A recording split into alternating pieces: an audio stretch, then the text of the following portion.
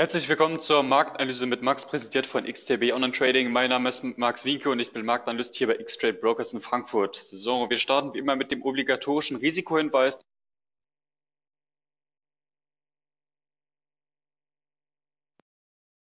Wie die meisten schon wissen, ähm, geht es hier eben nicht darum, Ihnen äh, Handelseinstiege sozusagen vorzugeben, sondern das Ganze soll Ihnen dabei helfen, Ihnen äh, eben bei den eigenen Trading-Aktivitäten zu unterstützen.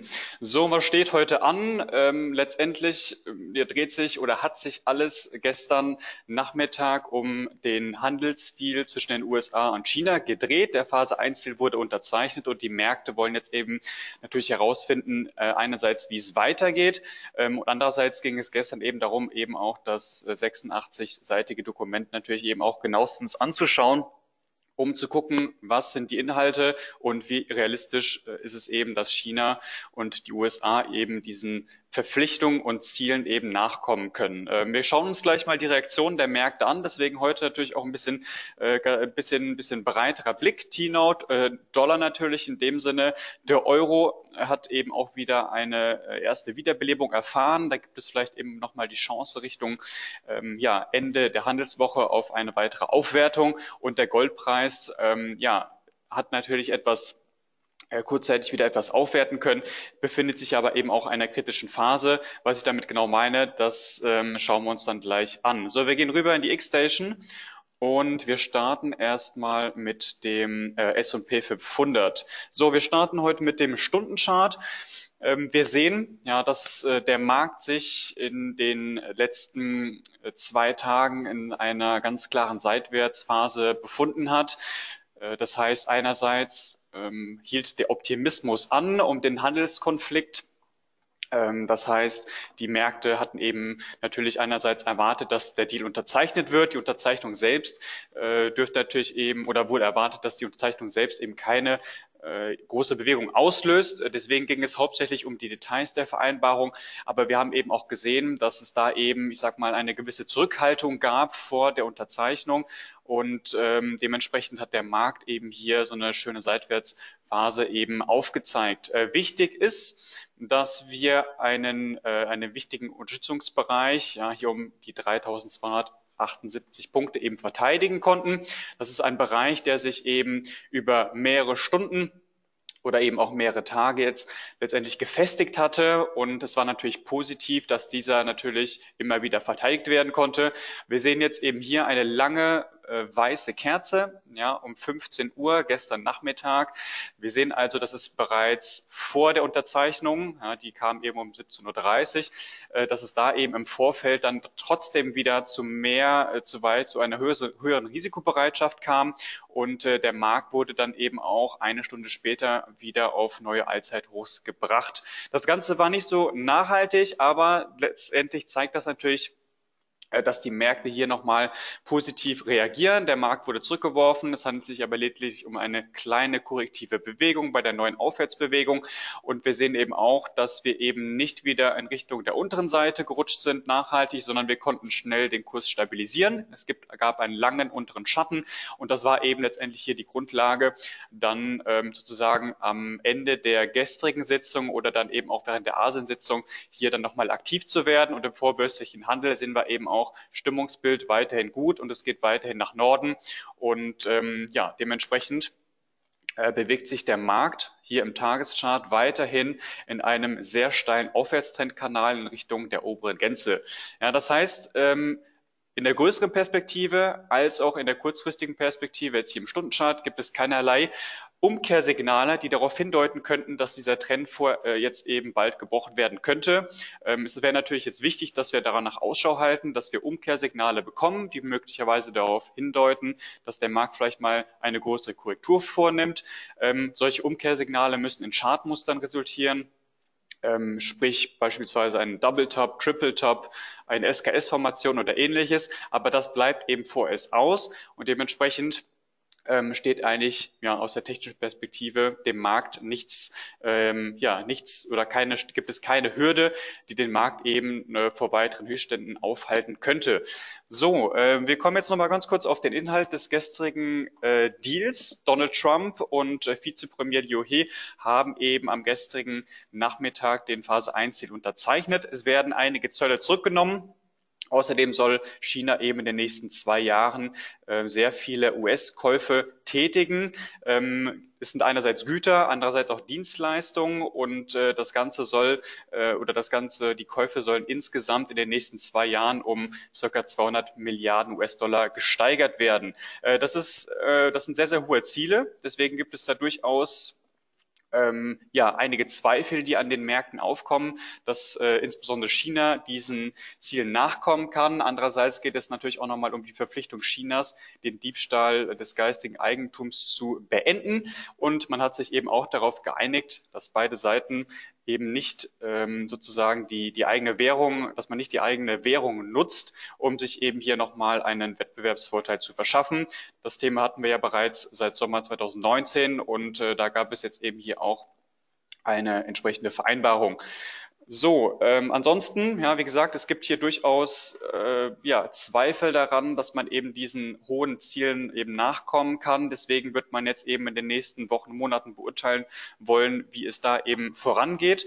Andererseits ähm, ist es eben so, dass natürlich viele Zölle beibehalten werden. Ja, gemeint sind eben äh, Waren, chinesische Waren im Wert von 250 Milliarden US-Dollar die werden weiterhin mit 25 Prozent bezollt. Und äh, dementsprechend muss man jetzt eben mal gucken, wie es jetzt auch weitergeht. Sprich Phase 2 wurde bereits angekündigt, ja, dass man Verhandlungen, dass man die Verhandlungen starten wird, aber Phase 2 äh, könnte natürlich durch, deutlich komplizierter werden, weil im Phase 1 Stil eben, sage ich mal, die einfachen Themen in Anführungszeichen behandelt worden sind. Und diese ganzen ähm, die ganzen äh, ursprünglichen Themen, warum dieser Handelsstreit wird angezettelt worden worden ist, die bleiben ja eben ungelöst. Und das ist jetzt eben sozusagen was, äh, ja, was letztendlich die Verhandlungsführer dann eben in Phase 2 sozusagen ähm, bearbeiten müssen. Ja, und da gibt es natürlich eben auch äh, jetzt Zweifel und das könnte dann eben deutlich schwieriger werden, hier eben einen Deal zu bekommen. So, letztendlich Marktreaktionen. Wir schauen jetzt einfach nochmal ganz kurz auf, äh, auf den Wochenchart. Wir sehen, der Markt ist natürlich auch im Wochenchart seit einiger Zeit stark überkauft. Man sollte aber eben auch vorsichtig sein, ähm, einerseits natürlich, was das Aufwärtspotenzial, das weitere Aufwärtspotenzial ne, äh, äh, angeht. Andererseits ähm, ist natürlich der Markt äh, deutlich korrekturanfälliger. Aber wie gesagt, solange eben keine Umkehrsignale auch im Stundenchart oder darunter eben folgen, ähm, könnte es natürlich eben sehr gefährlich sein, weil der Markt möglicherweise dann ja noch äh, sehr, sehr stark steigen könnte. Ähm, ich bin aber hier wirklich sehr, sehr vorsichtig, was Long-Position angeht. Wer kurzfristig unterwegs ist, der dürfte äh, sicher mit Long-Positionen ähm, vorerst noch gut fahren. Wer mittel- bis langfristig unterwegs ist, der soll sich natürlich dessen bewusst sein, dass wir natürlich hier äh, entsprechende, ähm, ja, entsprechende Extremwerte erreicht haben, ja, was den Stochastik-Oszillator angeht beispielsweise oder wer sich den RSI-Indikator anguckt und äh, dementsprechend ähm, Vorsicht geboten. So, um dem Ganzen noch so ein bisschen Orientierung zu verschaffen, wir gucken jetzt nochmal auf den Vier-Stunden-Chart.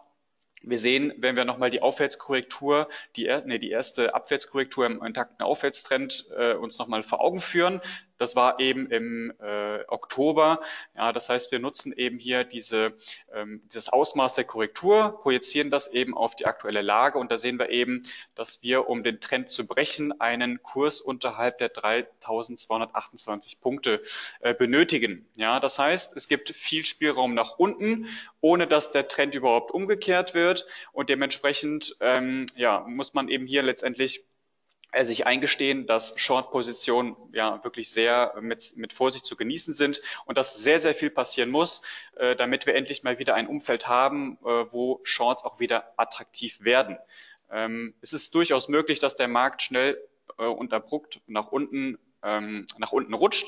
Aber da gibt es natürlich auch weitere Katalysatoren, auf die man dann eben jetzt äh, achten sollte. Das heißt, wir haben einmal die US-Berichtssaison, die hat in dieser Woche begonnen. Morgen Stanley wird unter anderem heute die Ergebnisse präsentieren wir müssen eben die handelspolitischen ähm, Nachrichten verfolgen und äh, es gibt dann nochmal die Einzelhandelsumsätze am heutigen Nachmittag sowie die, wie das Verbrauchervertrauen am Freitagnachmittag. Gucken wir uns gleich nochmal im Kalender äh, an, wann die Veröffentlichungen dann genau sind, damit sie vorbereitet sind.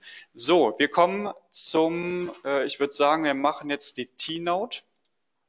Ähm, genau, wir haben noch den Chart vom letzten Mal. Grundsätzlich hat sich aus, an der Ausgangslage nicht so wirklich was getan. Wir haben weiterhin eine ganz klare Seitwärtsbewegung, beziehungsweise notieren wir eben zwischen dem Bereich zwischen 128,40 und äh, ja, knapp 130.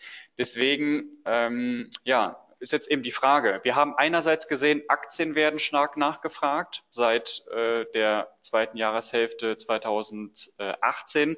Das gleiche haben wir aber eben auch bei sicheren Anlagen gesehen. Das heißt, wenn wir uns nochmal hier den S&P 500 einblenden, sehen wir natürlich, äh, oder wir sehen einen ähnlichen Trend. Die Trendrichtung ist gleich, aber es gibt natürlich immer wieder sozusagen Divergenzen zwischen den beiden Märkten. Und jetzt ist eben die Frage, kann die Wall Street in diesem Tempo noch weiter ansteigen? Ja, oder gibt es da vielleicht eben bald mal eine Korrektur? Eine Korrektur wäre, wie gesagt, ähm, natürlich wünschenswert, um sich diesem Trend nochmal anschließen zu können. Ähm, der bleibt bislang aus. Andererseits haben wir natürlich auch die Möglichkeit, dass die T-Note da eben vielleicht nochmal anschließt ähm, weil natürlich vielleicht die Märkte kurzfristig wieder etwas äh, ja, in Richtung Sicherheit gehen. Ähm, früher oder später könnte es durchaus sein, dass wir dann eben hier möglicherweise vielleicht nicht ein, ein ein, ein, eine Schließung dieses Gaps haben, aber dass wir zum Beispiel sehen, dass die Kurse sich wieder annähern. Das heißt, entweder äh, müsste eben die Tino deutlich steigen, ja, oder die Wall Street müsste eben nach unten gehen. Ähm, ich gehe mal davon aus, dass wir möglicherweise in den nächsten Wochen oder Monaten da vielleicht nochmal eine Annäherung der beiden Kurse sehen. Entscheidend wäre natürlich dann beispielsweise dass die T-Note eben hier einfach mal einen Ausbruch erlebt. Das heißt, entweder auf der Oberseite, ja, wir haben ja viel Unterstützung gehabt, wir haben ein höheres Tief, deswegen solide Grundlage für einen Ausbruch nach oben. Andererseits ähm, auf der Unterseite, wenn die Risikobereitschaft wieder deutlich steigt oder noch weiter ansteigen sollte, dann könnten wir eben auch nochmal hier eine Bewegung in Richtung der Unterstützungsmarken hier äh, sehen, die ich ja die ich ja schon erwähnt habe. Aber grundsätzlich äh, sieht es eben so aus, als ob die T-Note technisch gesehen eigentlich ganz gut dasteht. Ähm, auch hier, wie gesagt, die Veröffentlichung, die ich genannt habe, natürlich berücksichtigen. Ähm, wir kommen jetzt nochmal auf den US-Dollar zu sprechen in diesem Kontext.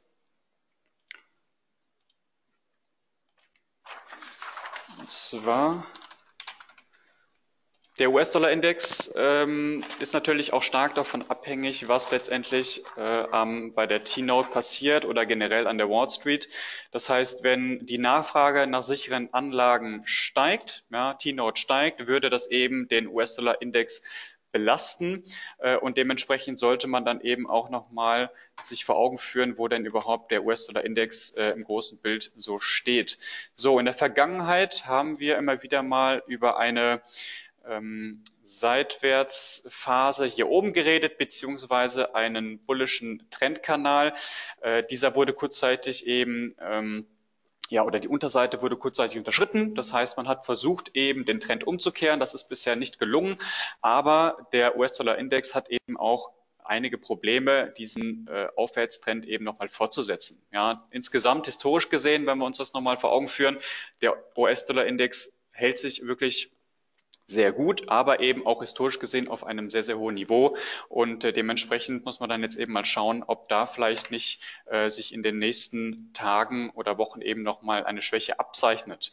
Äh, wir haben also im Tageschart hier ein tieferes Hoch möglicherweise eben auch so ein Doppeltap, sage ich mal, wenn man es nicht ganz so genau nimmt. Also da gibt es durchaus die Möglichkeit, dass der Markt vielleicht in den nächsten Tagen oder nächsten Stunden vielleicht nochmal zu einem Rückgang ansetzt. Wichtig wäre äh, beispielsweise schwache Daten, das heißt schwache Einzelhandelsumsätze würden den Dollar belasten. Andererseits könnte es natürlich sein, dass wir oder alles, was, was äh, die Erwartung an die Geldpolitik angeht, äh, beziehungsweise was eben äh, weitere Zinssenkungen der FED betrifft.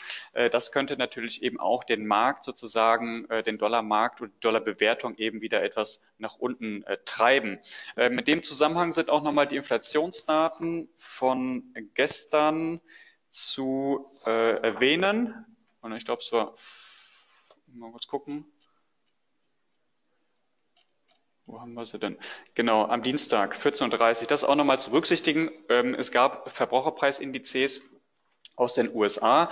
Ähm, die, die stehen zwar nicht im Fokus, also sie stehen schon im Fokus der FED, äh, sind aber eben äh, nicht die bevorzugte, ähm, sind, die, ist nicht die bevorzugte Inflationsmessung. Die PCE-Inflation ist da deutlich wichtiger, aber es ist natürlich immer so, äh, dass die dennoch eben berücksichtigt werden. Und da haben wir eben gesehen, dass wir eben bei der Gesamtinflation eben hier einen Anstieg von 2,1 auf 2,3 Prozent hatten und die Kerninflation blieb bei 2,3 Prozent. Ähm, grundsätzlich alles, was oberhalb der 2 Prozent ist, ist natürlich etwas, was die FED dazu anregen könnte, eine Zinserhöhung äh, in Erwägung zu ziehen. Ähm, allerdings bei der PC-Inflation äh, liegt das Niveau eben deutlich tiefer. Die Kerninflation, die im Fokus steht, die liegt eben nur bei 1,6 Prozent. Ähm, dementsprechend, wenn ein äh, Niveau unterhalb der 2 Prozent gehalten werden kann, sage ich mal, oder die, das Preiswachstum sich eben nicht beschleunigt bei der PCE-Inflation, ähm, dann wäre das etwas, was die FED eben abhalten könnte vor einer Zinserhöhung. Und wenn sich die Inflation sogar noch abschwächen würde in den nächsten Monaten oder möglicherweise dann im Laufe des, äh, des Jahres äh, 2020, dann könnte das eben vielleicht auch nochmal zu einer äh, ein Argument sein für eine Zinssenkung. Ja? Und diese Erwartung ähm, die muss man eben sozusagen Schritt für Schritt, Tag für Tag eben bewerten. Und äh, so, so eine Erwartung wäre zum Beispiel ein ganz wichtiger Faktor äh, für die Dollar-Bären. Das heißt, äh, eine Zinssenkung, ja, also eine weitere Zinssenkung, könnte dann eben sozusagen den Dollar eben schwächen. Äh, das heißt, das sind sozusagen die zwei Themen, also einerseits Einzelhandelsumsätze, Verbrauchervertrauen für heute und morgen und dann eben die allgemeine Erwartung an die Zinssenkung. Ähm, das könnte, könnten eben die treibenden Kräfte sein und darauf wird man sich konzentrieren und wir müssen dann eben mal gucken, ähm, ob es da eben nochmal vielleicht die Chance gibt auf der Unterseite. Kurzfristig gibt es da durchaus nochmal etwas Spielraum. Das ganze Setup würde natürlich negiert werden, sobald wir eben hier nochmal das äh, lokale Hoch eben überwinden. Ähm, momentan sieht es aber eben erstmal nicht danach aus und dementsprechend ähm, könnte ich dann eben, könnte man eben nochmal erwarten, dass es hier vielleicht nochmal die Chance gibt auf der Unterseite. Aber wie gesagt, äh, das hängt dann eben dann von den Daten und den Erwartungen an die Geldpolitik ab. So, wir kommen, genau, wir haben jetzt über sichere Anlagen gesprochen, deswegen kommen wir äh, nochmal auf den Goldpreis zu sprechen. Der Goldpreis äh, befindet sich eben auch in einer, ja, ich sag mal, sehr äh, kritischen oder ich sag mal orientierungslosen Phase. Wir haben, wenn wir das in, uns hier nochmal äh, anschauen im Tageschart, natürlich einen sehr starken oder sehr kräftigen Anstieg, äh, haben wir hier gesehen, aufgrund des Iran-Konflikts. Wir haben aber gesehen, dass sich die Lage dort eben wieder entspannt hat. Wir haben außerdem den Handelsdeal, der unterzeichnet wurde und wir haben eben auch nochmal wieder etwas mehr Optimismus um den Handel aufgrund der Phase 2, die jetzt eingeleitet wird. Und äh, wir hoffen, ähm, oder das ist natürlich etwas, was ja letztendlich die, die, die Goldbewertung belastet hat. Ähm, grundsätzlich ähm, ja, hat der Markt aber jetzt endlich hier mal diesen Rückgang stoppen können. Ähm, das heißt, wir haben äh, wenn wir uns auch nochmal die Marktgeometrie vor Augen führen, na, da kann man, kann man sich das immer hier relativ schön einblenden. Das heißt, in dieser Abwärtsbewegung hatten wir hier eine Aufwärtskorrektur. Ja, diese Aufwärtskorrektur hat von dem Tief bis zum Hoch hier oben ähm, ungefähr 100, ähm, was haben wir denn hier, 1, das waren 1,35 Prozent ungefähr, 20 Dollar. Ich mache das vielleicht nochmal in einer anderen Farbe oder ein bisschen äh, heller, dann können Sie das eben nochmal genau äh, erkennen. Ja, das heißt, in dieser Abwärtsbewegung haben wir eine erste Aufwärtskorrektur.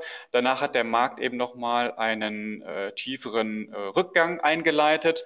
Und äh, da sehen wir aber eben, dass der Markt eben letztendlich äh, den Kurs stabilisieren konnte. Der Markt konnte eben sich wieder etwas erholen. Und jetzt befinden wir uns eben hier an so einem Knackpunkt. Ja, das heißt, wir projizieren wieder das Ausmaß dieser ersten Aufwärtskorrektur auf die aktuelle Lage. Und äh, da gibt es eben jetzt hier ähm, mehrere Tests an der Oberseite dieses Rechtecks. Das heißt, äh, entweder prallen wir da wirklich ab und können möglicherweise nochmal die 200, äh, die 200-Stunden-Linie unterschreiten, bewegen uns nochmal möglicherweise in Richtung der unteren Seite. Das heißt, wir haben dann hier nochmal einen möglichen Test der Tiefs vom vorgestern oder möglicherweise sogar noch einen weiteren Rückgang hier nach unten. Oder wir haben eben hier den Ausbruch auf der Oberseite ähm, mit der möglichen äh, Trendwiederaufnahme. Ähm, deswegen, also es gibt hier, denke ich mal, keine klare Antwort. Das langfristige Bild spricht durchaus für, äh, für, für einen steigenden Goldpreis. Aber ich sage mal, in, innerhalb von Wochen und Monaten kann natürlich viel passieren. Es gibt viel Volatilität. Dementsprechend äh, sollte man eben sozusagen auf verschiedene Szenarien vorbereitet sein.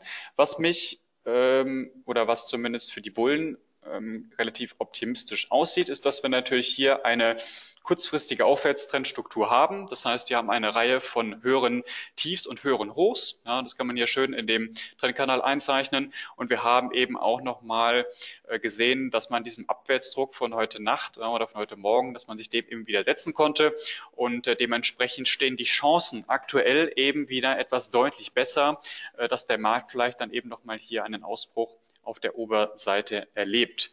So, was äh, wie schaut's aus mit potenziellen Kurszielen? Da können wir ruhig nochmal in eine höhere Zeiteinheit wechseln.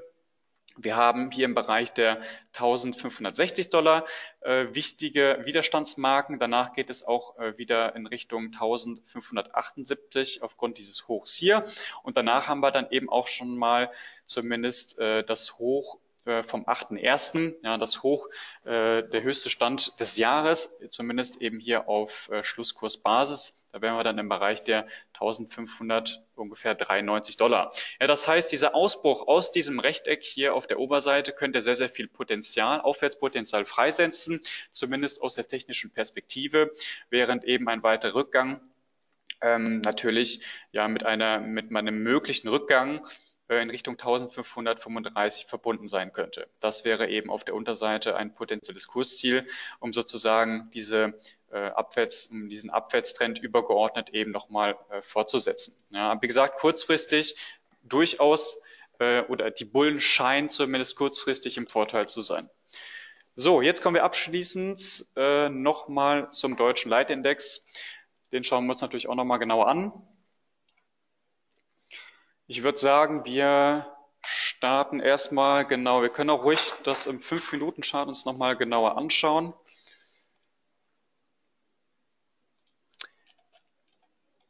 So, also, ja, wir, am besten gucken wir uns nochmal hier den, den gestrigen Handelstag an. Also, es gab, um ehrlich zu sein, wenig Spielraum für ähm, ja, für, für, für das Eingehen von Positionen. Also weder das Long, äh, weder Long noch Short-Positionen äh, waren irgendwie attraktiv. Ähm, es, wir hatten so eine ganz klare Seitwärtsphase. Ja, es hatte sich ja eben auch schon in den äh, Morgenstunden oder im vorbörslichen Handel eben schon so eine Seitwärtsphase eben abgezeichnet. Es gab eben kurzfristig Ausbrüche nach oben oder die Versuche nach oben auszubrechen.